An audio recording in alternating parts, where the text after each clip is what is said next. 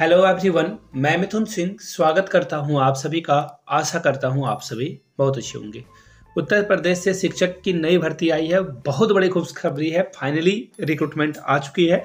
इस बारे में बात करेंगे, उससे पहले आप सभी लोगों से रिक्वेस्ट है इस वीडियो को आप जहाँ से भी देख रहे हो, नीचे कमेंट करके उस प्लेस का नाम ज़रूर मेंशन कर दें जैसे सपोज़ कर लो कि कोई अगर इस वीडियो को पटना बिहार से देख रहा है तो नीचे पटना बिहार लिखें। अगर आप इसे कानपुर से देख रहे हो या फिर लखनऊ से देख रहे हो तो नीचे कमेंट करके उसका नाम ज़रूर लिखें। अगर कोई बनारस से देख रहा है तो नीचे कमेंट करके बनारस यूपी लिखते हैं। तो चलिए, आज की जो नई बहाली आई है, उसके बारे में मैं आपको बता दूँ। ये बहाली आ चुकी है और इसके लिए जो आपको तय समय मिला हुआ, वो मैं आपको जो है पीडीएफ में ओपन करके दिखा देता हूँ। देखो जो रिक्रूटमेंट आई हुई है, वो आप यहाँ से देख पाओगे। रिक्रूटमेंट नंबर वन जो है, सबसे पहले एज जान लो 25 से 45 वर्ष आपकी एज रखी गई है। क्राइटेरिया में 25 से 45 के बीच अगर आप हो तो आप अप्लाई यहाँ पे कर सकते हो। पहली बात। दूसरी बात सैलरी आपको बाईस हज़ार रुपये पर मंथ दिया जाएगा। और आखिरी डेट मैं आपको दिखा देता हूँ। टीचर वाली और भी चीज़ें मैं आपको दिखाऊँगा। You don't need to worry सारी चीज़ें जो है आपको यहाँ पे बताई जाएगी।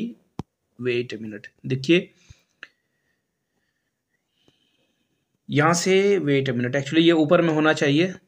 जी हाँ यहाँ से आप देख पाओगे 11 बारह तक आप इसे जो है अप्लाई कर सकते हो। यानी कि 11 दिसंबर तक आपको अप्लीकेशन को अप्लाई करने का टाइम दे दिया गया है। विज्ञान की रिक्रूटमेंट है, गणित की रिक्रूटमेंट है, सामाजिक विषय की रिक्रूटमेंट है, भाषा की रिक्रूटमेंट है और अंग्रेज़ी की रिक्रूटमेंट है। देखिए, अगर मैं कुल पद की बात करूँ तो यहाँ पे कुल गलत लिखा हुआ है टाइपिंग एरर है ये।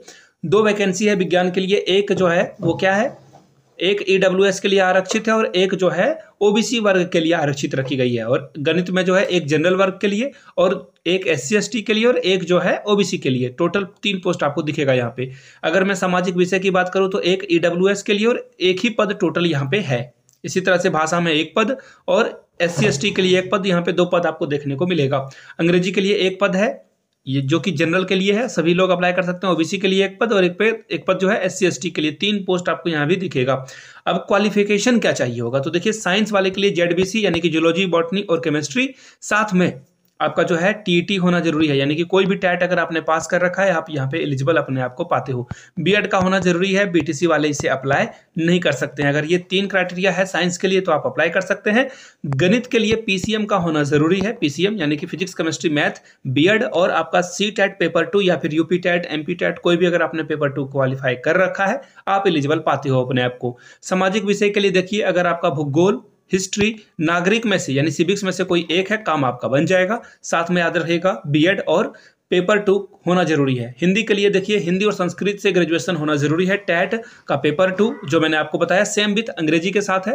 अंशकालिक शिक्षिका महिला वर्ग के लिए देखिए, कला एंड क्राफ्ट, संगीत और गृह शिल्प की रिक्रूटमेंट है। कंप्यूटर शिक्षिका की रिक्रूटमेंट है। स्काउट, गाइड एवं शारीरिक शिक्षिका के लिए भी रिक्रूटमेंट है। अंठानवे सौ रुपये पर मंथ आपको यहाँ पे दिया जाएगा। जो मैंने रिस्पेक्टिव पोस्ट के बारे में बताया, उसके बारे में। यहाँ से देखिए, पूर्णकालिक महिला जो लेखाकार है, उनके लिए जो है सैलरी ग्यारह हज़ार रुपये पर मंथ रखा जाएगा। चौकीदार के लिए जो है पाँच हज़ार सात सौ पचास रुपये आपको पर मंथ दिया जाएगा। चपरासी के लिए पाँच हज़ार सात सौ पचास रुपये इक्यावन सौ पचहत्तर रुपये मुख्य रसोईया महिला के लिए और इक्यावन सौ पचहत्तर रुपये जो सहायक महिला रसोईया होंगी उनके लिए। तो यहाँ से मैंने ये सारी बातें बता दी।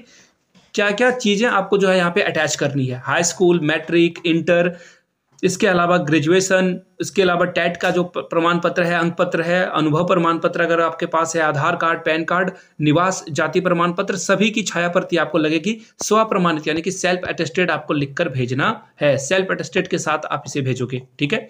और नीचे अपना सिग्नेचर लिख दोगे, जैसे किसी का नाम पूजा है तो यहाँ पे वो अपना नाम पूजा लिखेगी। अगर किसी का नाम जो है ऋतु है वो, ऋतु ऋतु लिखेगी। इसी तरह से जो भी आपका नाम हो वो लिख देना, साथ में डेट भी मेंशन आप कर देना। और याद रखिएगा, पैंतीस रुपए का टी। टिकट जो है आपको चिपकाना है दो लिफाफे के ऊपर, दो अलग अलग लिफाफा और दोनों पे पैंतीस पैंतीस का टिकट आपका जो है यहाँ पे होना चाहिए। और यहाँ पे अपना एड्रेस ज़रूर मेंशन कर देना है आपको, मेंशन नहीं करोगे तो गड़बड़ आ जाएगी। और याद रखिएगा जो बड़ा लिफाफा, जिसमें आप सारे डॉक्यूमेंट और ये दो लिफाफा ईच एंड एवरीथिंग दोगे, उस लिफाफे के ऊपर अगर आपने जैसे कि एसटी से अप्लाई किया है तो एसटी आपको लिख देना है सब्जेक्ट आपने कौन सा अप्लाई करा है? सब्जेक्ट अगर आपने हिंदी अप्लाई करा है तो यहाँ पे आप हिंदी लिख दोगे, ताकि दिक्कत ना हो उन्हें। दूसरी बात किन्हीं का जनरल है तो वो जी ई एन लिख देंगे, या फिर यू आर भी लिखोगे तो आपका काम चल जाएगा। ई डब्ल्यू एस वाले ई डब्ल्यू एस यहाँ पे लिख देंगे। और अगर आप ओबीसी से हो तो ओबीसी आप ज़रूर लिख दें यहाँ पे, ताकि उनको दिक्कत ना हो। ये कॉन्ट्रेक्चुअल वैकेंसी है, मिर्जापुर से ये आई हुई है। सिर्फ़ और सिर्फ़ महिला वर्ग के जो अभ्यर्थी हैं, वही इसे भर पाएँगे। आखिरी डेट इसकी रखी गई है ग्यारह बारह दो हज़ार तेईस। ग्यारह दिसंबर तक आप इसे अप्लाई कर सकते हैं। तो ये कुछ रिक्रूटमेंट है, याद रखिएगा। साधारण डाक से आपको नहीं भेजना है, इस बात का खास ख्याल रखें। हो सके हो सके नहीं, करना ही है। रजिस्टर्ड डाक के माध्यम से, यानी कि पंजीकृत डाक या फिर स्पीड पोस्ट के माध्यम से आपको इसे भेज देना है। वीडियो आपने यहाँ तक देख ली है तो प्लीज़ नीचे कमेंट करके अपने जगह का नाम ज़रूर लिख दें और वीडियो को ज़्यादा से ज़्यादा अपने दोस्तों रिश्तेदारों तक शेयर करें लाइक करें और नए हो तो चैनल को सब्सक्राइब करते हुए जाना है। Thank you so much